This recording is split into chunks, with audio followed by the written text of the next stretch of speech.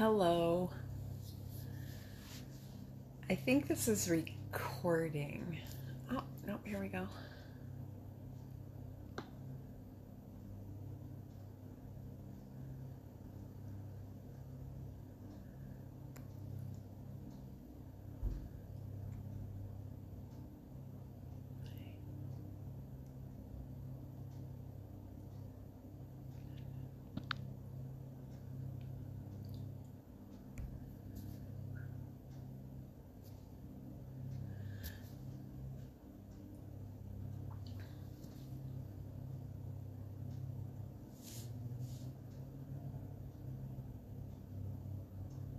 I don't know if this is recording or what.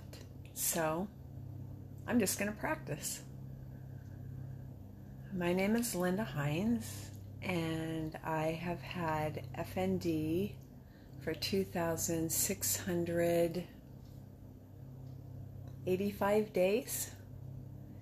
And now I'm ready to talk about it.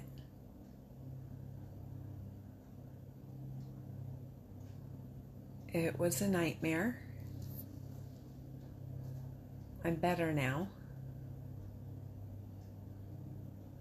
I can talk and I can walk and I can communicate, so that makes me better.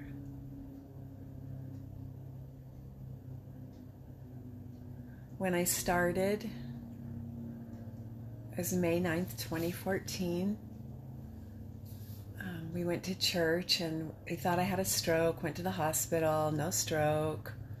And then the journey began the journey of it's all in your head. And it wasn't fun. Every doctor's appointment was a nightmare. Every therapy appointment was a nightmare. I didn't start therapy until six months in. After a suicide ideation and spending five days in a psych ward, I got coping skills there and started to learn about parts of the trauma. And that's probably when we started me on meds for the first time. And I went on lots of meds meds for this, meds for that, meds for everything. Stay away from meds. Meds hurt you. Although the bipolar meds were probably good for a reason because I only had a 1 or 10 and it slowed me down so I could learn there were things between 1 and 10. And that's how I learned about emotions.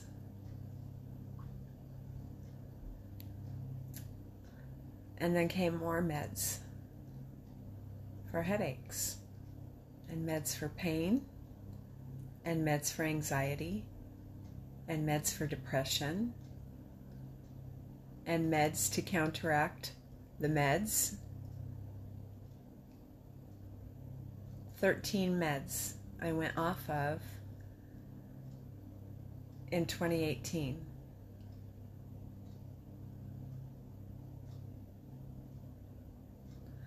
I noticed first when I would start walking, the weird thing was my hands would go like this and they'd freeze my fingers. And I'd walk with my boys, and I was very slow, and my balance was off. And I would, I had big boys, would, would hold my arm on their arm so we could walk. And then slowly, the energy went away. And my memory went away immediately. I couldn't figure out how to do anything. And I would take a shower and use a bottle of shampoo or no shampoo at all. And I had to learn to breathe. Learning to breathe was the most important tool in the whole journey. Foundational. It had to be established, really firm, solid, breathing into my entirety. This was not breathing because I started just breathing. You breathe three times. There's doTERRA breathing, there's this breathing, there's that breathing. You do all kinds of breathing. Well, this breathing is different. When the occupational therapist said we're going to breathe five times, on number five, I noticed my shoulders would release somehow, or something inside me would release. So I knew five was an important number.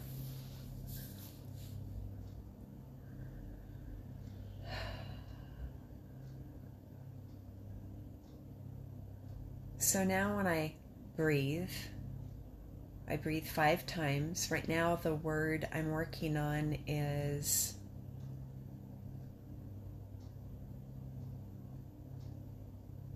settle. Remembered. That's only taken two weeks. The word is settle. So, to be able to settle, I breathe in, hold it, and feel it switch from an in breath to an out breath. Five times. Feel the switch. Now we're going to breathe in the word settle.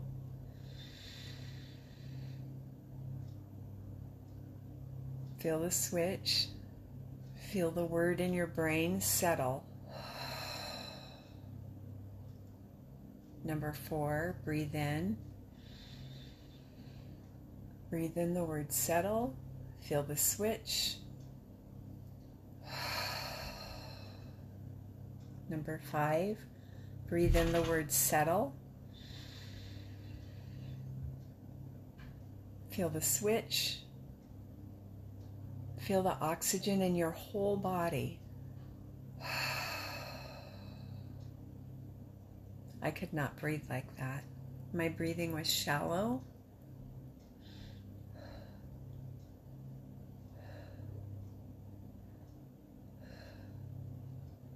but it was still breathing. It was the deepest I could go. And so when you start, you need to breathe as deeply as you can. Remember, this is concerted effort, intent. This is healing. My five immediate coping skills were put on the music for sound. I, it had to be multisensory. I had to be able to stop. And so turning on the music immediately brought me into a different place. I would breathe essential oils that would help reduce peppermint pain and the seizures.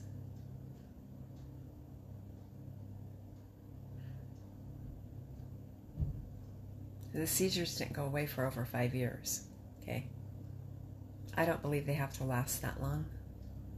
Touch. I always had something in my hands. Now they have really cool tactiles. Um, I just tried different things, or I'd rub my fingers together.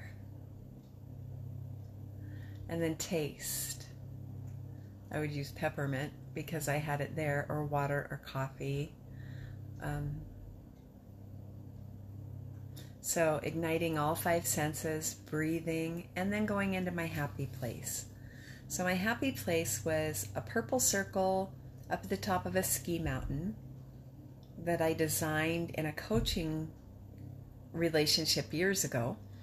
And I would stand in the purple circle and breathe in the fresh air and see the blue sky and 10 inches of new snow, powder on the moguls and hear the lift and just loosen up my body, all in this purple circle.